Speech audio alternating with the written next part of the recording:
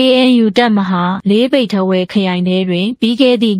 2023ခုနှစ်ကတည်းကကရင်မျိုးသားလွတ်မြောက်ရေးတပ်မတော်နှင့်ကော်တူးလေအာမီတပ်ကြားတင်းမာမှုဖြစ်ပွားပြီးအပြန်အလှန်ပစ်ခတ်တိုက်ခိုက်မှုများမကြာခဏဖြစ်ပွားလေးရှိသည် ယနေ့အချိန်ထိလည်းနှစ်ဖက်တင်းမာမှုဆက်ရှိနေဆဲဖြစ်သည်ဟုဒေတာတွင်သတင်းများအရသိရသည် KNU ကရင်အမျိုးသားအစည်းအရုံးတပ်မဟာလေးနယ်မြေတွင်ကရင်အမျိုးသားလွတ်မြောက်ရေးတပ်မတော်နှင့်ကော်တူးလေအာမီတို့အကြားကရင်ချင်းချင်းတင်းမာမှုကိုပြေလည်စေရန်အတွက်စက်တင်ဘာ3ရက်နေ့တွင် ထိုင်းနိုင်ငံကိုယ်စားလှယ်ကညှိနှိုင်းဆောင်ရွက်ပေးရန်ရှိသည်ဟုကော်တူးလေအာမီဘက်ကပြည်သူများထံအသိပေးစာထုတ်ပြန်ထားသည် ထို့သို့အတိပေးထုတ်ပြန်စာပေါ်ကော်တူးလေအာမီခေါင်းဆောင်များထံသို့အဆိုပါအတိပေးထုတ်ပြန်စာသည်ကော်တူးလေအာမီဘက်ကထုတ်ပြန်ခြင်းဖြစ်သည်ဟုရင်းတို့၏ခေါင်းဆောင်ပိုင်းနှင့်နှီးဆက်သူတာဝန်ရှိသူကမှန်ကန်ကြောင်းအတည်ပြုပြောသည်ညှိနှိုင်းမိကိစ္စနှင့်ပတ်သက်၍ KNU တပ်မဟာလေးတက်ရင်ညှိနှိုင်းမိကိစ္စအပေါ်အထက်မှညွှန်ကြားလာခြင်းမရှိသလိုထိုင်းဘက်ကတစုံတရာပြောဆိုလာခြင်းမရှိသေးဟုပြောသည်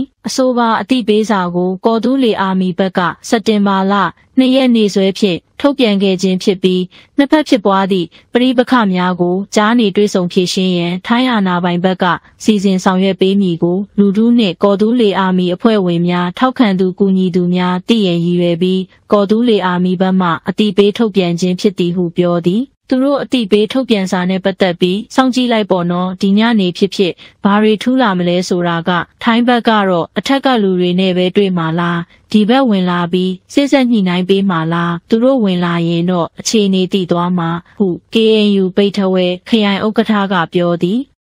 အကျန်းဖက်စစ်ကောင်စီမင်းအောင်လှိုင်ကယနေ့တွင် တောင်ကြီးမြို့သို့ရောက်ရှိလာပြီးတောင်ကြီးမြို့တခွင်နှင့်တောင်ကြီးအတက်အစင်းလန်းများတွင် လုံခြုံရေးအထူးတင်းကျပ်ထားခဲ့ကြောင်းဒေသပြည်သူများနှင့်စစ်ဘက်သတင်းရင်းမြစ်များကပြောဆိုသည်စက်တင်ဘာလဆန်းပိုင်းတွင်မန္တလေးတောင်ကို ပဲခူးရန်ကုန်မြို့များသို့ဇက်တိုက်သွားရောက်ခဲ့သောအကြမ်းဖက်မင်းအောင်လှိုင်ကယနေ့တွင်တောင်ကြီးမြို့သို့လုံခြုံရေးအလွန်ထူထပ်စွာဖြင့်ရောက်ရှိလာခဲ့ကြောင်းအထူးသဖြင့်ဆက်သွယ်ရေးဖြစ်တောက်ရာတွင်အ धिक အသုံးပြုသည့်ကြံမများကိုနေရာအနှံ့တိုင်ထူ၍ဒရုန်းဖြင့်ဘုံကျဲခြင်းအဝေးထိန်းစနစ်ဖြင့်ဘုံခွဲတိုက်ခိုက်မှုများမဖြစ်ပေါ်စေရန်လုံခြုံရေးအထူးဂရုပြုဆောင်ရွက်နေကြောင်းဒေသပြည်သူများနှင့်ဒေသစစ်ပတ်သတင်းရင်းမြစ်ကဆိုသည် တောင်ကြီးမြို့ရောက်ရှိစဉ်အကြမ်းဖက်စစ်ကောင်စီမင်းအောင်လှိုင်သည်ခရီးစဉ်တိုင်းတွင်လှုပ်လေရှိသည့်ဖျားဘူးခြင်းစစ်ဆေးခြင်းနှင့်ဌာနဆိုင်ရာများကိုတွဲဆောင်ခြင်းများကိုလှုပ်ဆောင်လျက်ရှိကြောင်းသိရှိရသည်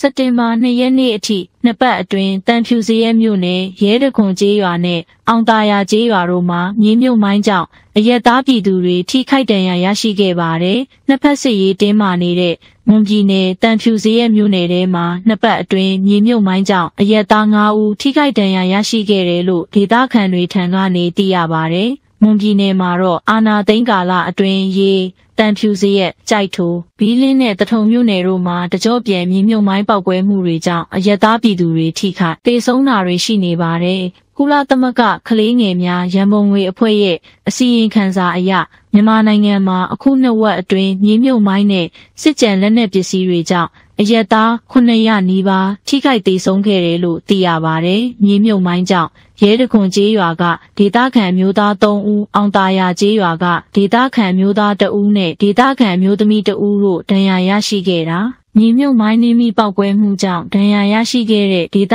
ခံတွေဟာမိသားစုဝန်ရေးအတွက်တောရဲထင်းခုတ်သွားတာထိခဲ့တာဖြစ်ပါတယ်မြေမြုပ်မိုင်းကြောင့်ဒေသခံတွေဟာဥယျင်ချံတွေနဲ့တောတောင်တွေထဲသွားဖို့စိုးရိမ်ပူပန်မှုတွေမြင့်တက်နေပြီးမိုင်းရှင်းလင်းရေးတွေလှုပ်ဆောင်ပေးဖို့လိုလားကြနေပါတယ်မြေမြုပ်မိုင်းတွေမကြာခဏပောက်ကွဲနေတဲ့အဲ့ဒီကျေးရွာတွေဟာအကြမ်းဖက်မြန်မာစစ်ကောင်စီတပ်အပြင်ပူပေါင်းတပ်ဖွဲ့တွေလည်းစစ်ရေးလှုပ်ရှားတာဖြစ်ပါတယ်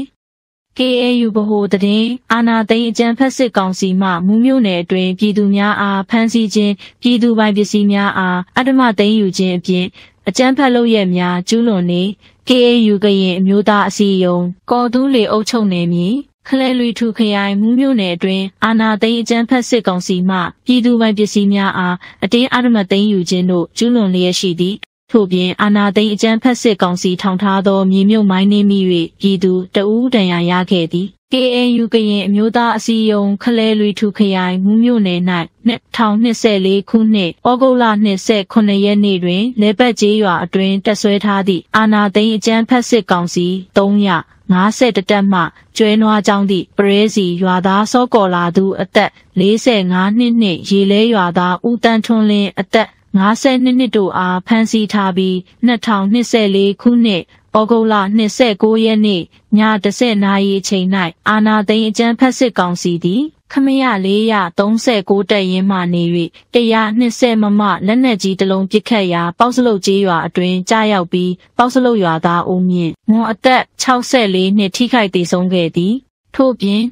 2024ခုနှစ်ဩဂုတ်လ29ရက်နေ့နေ့လယ်တနာရီ30မိနစ်အချိန်တွင် အာနာသိန်းအကြမ်းဖက်စစ်ကောင်စီတပ်မှ ထောင်ထားသည့်မြေမြုပ်မိုင်းနှင်းမိ၍ကျွန်းကုန်းညောင်ခြေထောက်ကျေးရွာနေမောင်ပြည့်ဖြိုးထက်အသက်18နှစ်၏ခြေချင်းဝတ်နှစ်ဖက်လုံးအားထိခိုက်ဒဏ်ရာရရှိခဲ့သည် 2024ခုနှစ်စက်တင်ဘာလတရက်နေ့၌လိပ်ပေါ်ရွာတွင်တက်ဆွဲထားသည့်အာနာသိန်းအကြမ်းဖက်စစ်ကောင်စီခမရ306ဖြူတက်ရင်မှပြည်သူပိုင်ဆံများနှင့်မြေဩဇာများအခြားအသုံးဆောင်များအင်ယူခဲ့သည်ထို့ပြင်ထိုနေ့ညနေ6နာရီချိန်၌ကရင်မျိုးသားလူမျိုးရေးတပ်မတော်နှင့်အာနာအကြမ်းဖက်စစ်ကောင်စီတပ်တို့အကြားတိုက်ပွဲဖြစ်ပွားခဲ့ရာရွာကြီးအင်းရွာသားမောင်မျိုးထွေးအသက်40နှစ်ထိခိုက်ဒဏ်ရာရရှိခဲ့သည် ထို့သောတိုက်ပွဲဖြစ်ပွားမှုကြောင့်ရွာကြီးအင်းကျေးရွာနိုကလော်ကျေးရွာနှင့်တောင်စုကျေးရွာရှိ ပြည်သူလူထုများဘေးလွတ်ရာသို့ထွက်ပြေးတိမ်းရှောင်နေလျက်ရှိသည် ကရင်ပြည်မျိုးသားများကာကွယ်ရေးတပ်ရိုင်ကော်ကနေဒီမော့ဆိုကိုလာတဲ့အကြမ်းဖက်မြန်မာစစ်ကောင်စီစစ်ကြောင်းကဒီမော့ဆိုမှာရှိတဲ့အခြေစိုက်စခန်းတွေကိုလက်နက်ခဲယမ်းအင်အားဖြည့်တင်းဖို့ဖြစ်တဲ့စစ်ကြောင်းထိုးတဲ့ကာလတစ်လျှောက်လုံးလူထုနေအိမ်တွေကိုမိရှို့တဲ့ပြည်သူနေတဲ့ရွာတွေကိုလက်နက်ကြီးနဲ့ပစ်တဲ့ဟုကရင်ပြည်မျိုးသားများကာကွယ်ရေးတပ်တာဝန်ရှိသူကပြောသည်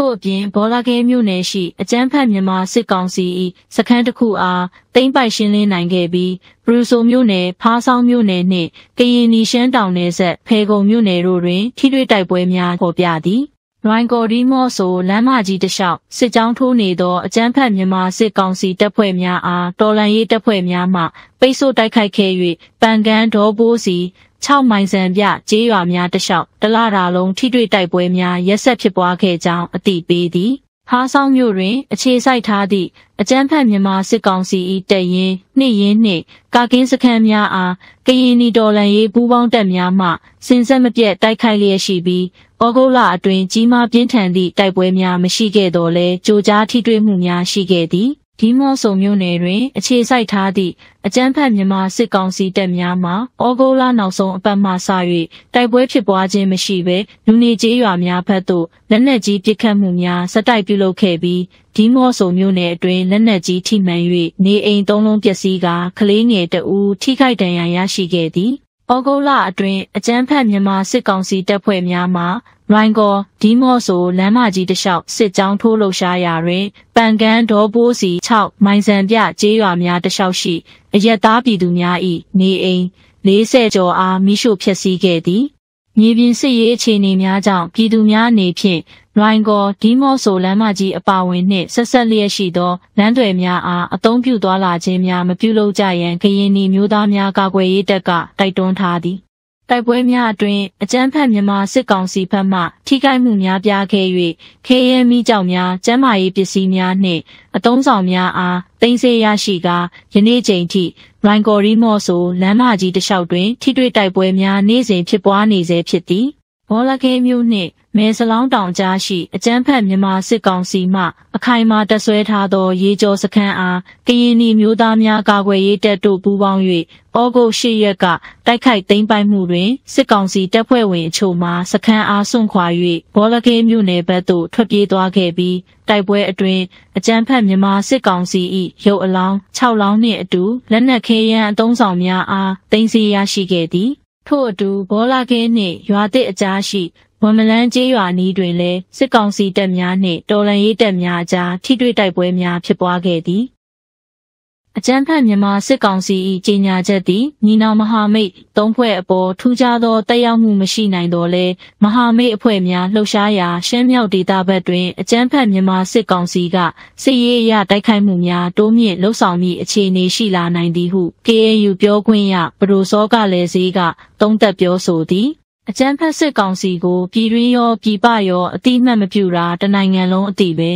နောက်အကြမ်းဖက်မြန်မာစစ်ကောင်စီကပြည်သူတွေအပေါ်အကြမ်းဖက်တာလဲအများသိကြပါတယ်ဥပမာရိုဟင်ဂျာတွေအပေါ်အကြမ်းဖက်ခဲ့တာတွေလိုမျိုးဒီလိုထုတ်ပြန်တာကအကြမ်းဖက်မြန်မာစစ်တပ်မှတခုခုတုတ်ပြန်တိုက်ခိုက်ဖို့ရှိပုံရတယ်အဲ့ဒီဘက်မှာတိုက်ခိုက်မှုတွေတိုးလုပ်ချင်တဲ့အနေအထားရှိလာနိုင်တယ်ဟုပရိုစောကလည်းစည်းကပြောသည်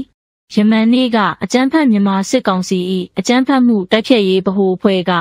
1029စစ်စင်ရေး၏ ဦးဆောင်သူများဖြစ်သည့်မြန်မာမျိုးသားဒီမိုကရက်တစ်မဟာမိတ်တက်မတော်တအောင်မျိုးသားလွတ်မြောက်ရေးတက်မတော်နှင့် AA တက်တော်တို့အားအကြမ်းဖက်အဖွဲ့များအဖြစ်ကြေညာချက်ထုတ်ပြန်ခဲ့ခြင်းဖြစ်သည်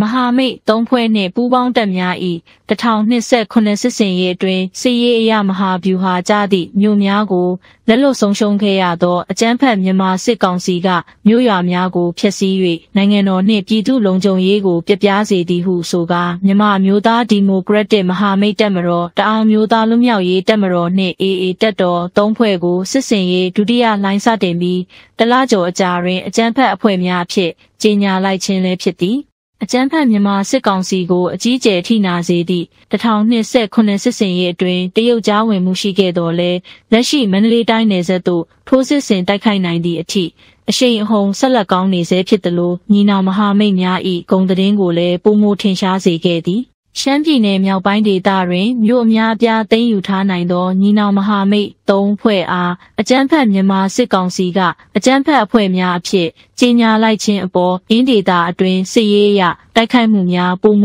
တိုးမြင့်လှုပ်ဆောင်လာနိုင်ပွဲရှိကြောင်းကရင်အမျိုးသားအစည်းအရုံး၏ပြောခွင့်ရပုဂ္ဂိုလ်ဘဒိုစောကလည်းဈေးကသုံးသက်ပြောဆိုသည်